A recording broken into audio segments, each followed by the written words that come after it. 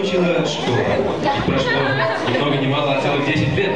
О, ты даже представить себе не можешь. Во-первых, быстро ходить на каблуках. Это немаловажно. Нужно везде успеть. Во-вторых, вставать рано утром. При этом сделать макияж, прическу. В-третьих, незаметно набирать смс с правильными ответами и... Ира, смс это настолько личное, не будем раскрывать все секреты. А ты знаешь, Егор, какие?